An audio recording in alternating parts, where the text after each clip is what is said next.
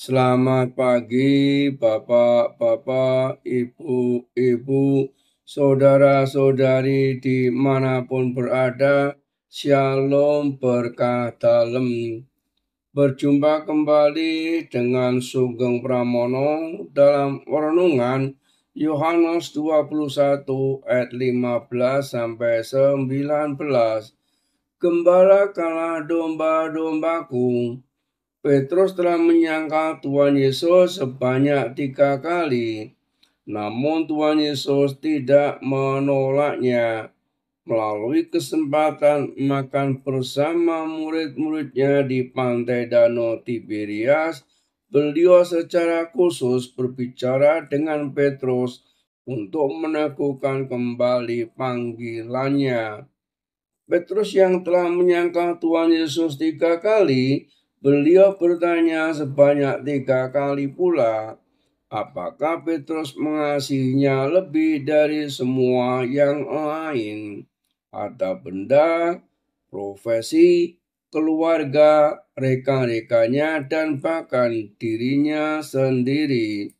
Semua itu jelas tidak boleh mengalihkan Petrus untuk lebih mengasihi dan mengutamakan Tuhan di atas segalanya.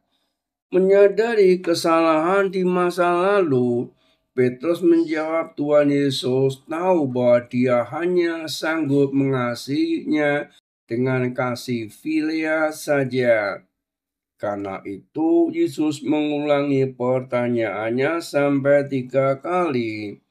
Namun Petrus tetap memberikan jawaban yang sama.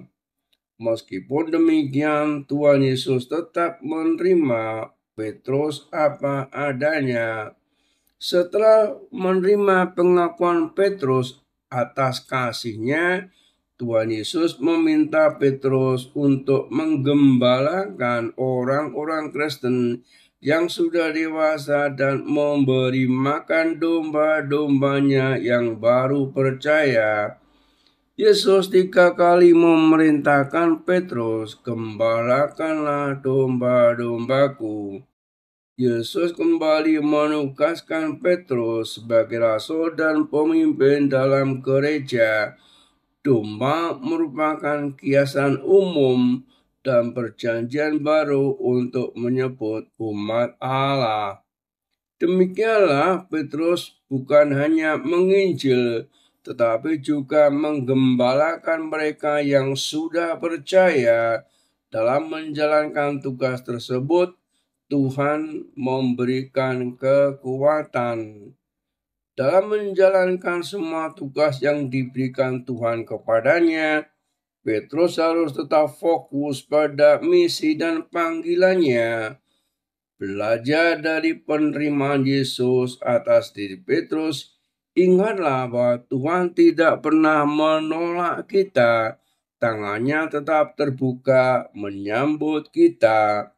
Yang perlu kita lakukan adalah berbalik dan kembali mengasihi beliau lebih dari segala yang lain dalam melakukan semua itu, kita harus tetap fokus pada tugas dan panggilan kita masing-masing agar orang lain mendapatkan berkat dan Tuhan dimuliakan. Salam dan doa. Terpujilah Tuhan. Amin.